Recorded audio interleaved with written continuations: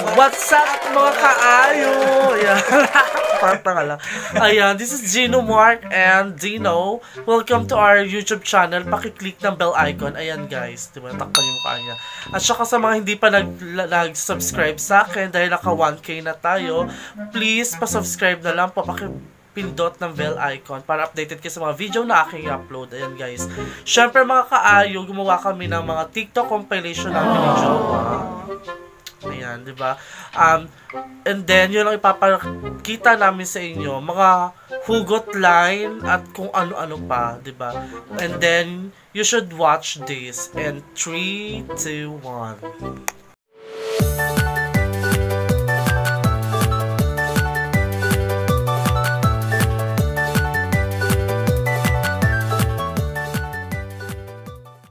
Past participle. Ano yung past? Ano yung, hindi, yung participle muna, ano yon? Alam ko yon. Ano yung participle? At alam ng mga tao. ano yung participle?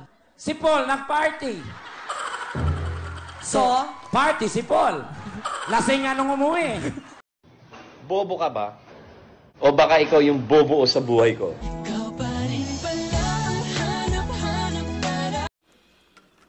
Inday!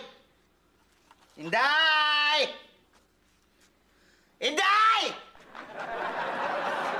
Sir, may kailangan po kayo? Wala! Gusto ko lang magsisigaw para lumabas yung alang-ala ko. Oy, may nanalo na raw ah. Oh, sino? Ikaw. Ewan ko nga eh. Di ka naman kandidato. Pero botong-boto sa'yo pamilya ko.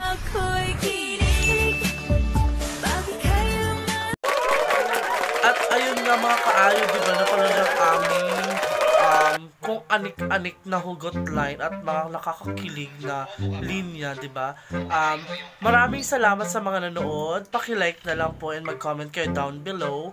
And then, sa ano din, sa mga nagtataka kung bakit hindi niya ako minsan kasama sa mga vlogs niya kasi hindi ko po siya suportado. ayan, di ba? Nahihiya po kasi ako mag-vlog-vlog. Kaya Na- sinasama lang po niya ako sa mga pictures, ganyan-ganyan.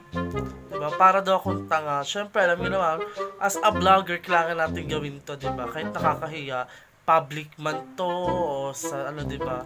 Kaya, hanggang dito na lang po ang aking small and but travel vlog. At sana magustuhan niyo ang aming TikTok, TikTok compilation. Bye!